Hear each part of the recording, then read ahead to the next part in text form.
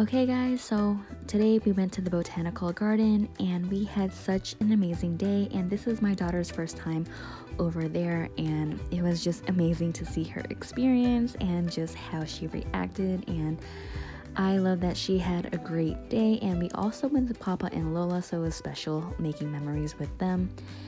And she just had so much fun just um, around nature and also just doing activities for kids. It is definitely kids friendly and also she had an amazing time at the water activity center. She as you guys can see, she had a blast and I hope you guys enjoyed the snippets as much as we enjoyed this day.